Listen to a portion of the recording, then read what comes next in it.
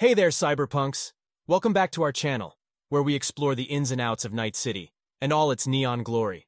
Today, we're diving into the world of music with the top 10 do's and don'ts for becoming a DJ in this cybernetic metropolis.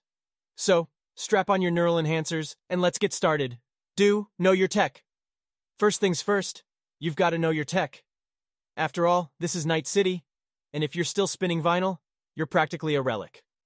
Get your hands on the latest CyberDeck and master those holographic turntables. And don't forget to tweak those neural implants for optimal beat matching. Don't number one, play overplayed tracks. Now, I know it's tempting to play that one track that's been on repeat in every club for the past six months. But trust me, Night City's residents have heard it one too many times.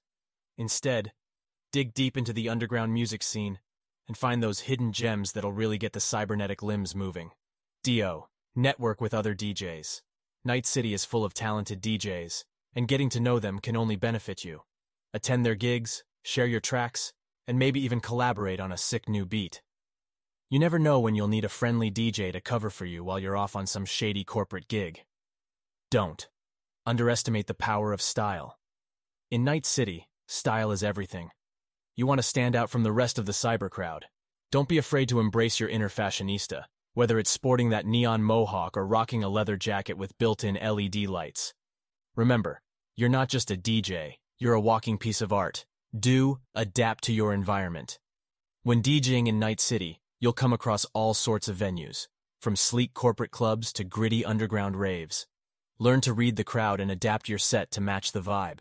If the room is packed with corpo types, maybe swap out those aggressive beats for something a little more sophisticated. Don't Ignore the power of influence. In the world of Night City, influence is key. Network with club owners, fixers, and even gang leaders to gain access to exclusive gigs and secure your place among the top DJs. But remember, with great power comes great responsibility. Don't let your newfound connections go to your head. Do stay up to date with the latest music trends. Host.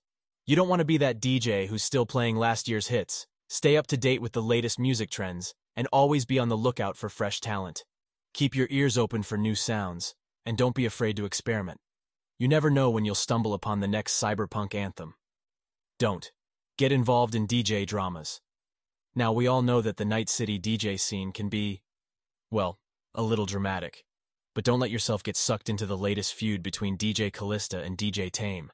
Keep your head down, focus on your music, and let your beats do the talking. Do. Have fun. Last but not least, have fun. DJing is an art, and Night City is your canvas. So let your creative juices flow, and bring your unique sound to the cybernetic masses. After all, you're not just a DJ, you're a cyberpunk legend in the making. Oh, before I forget, the most important part for any aspiring DJ is to join Arasynth, the new up-and-coming music label led by the Arasaka Corporation.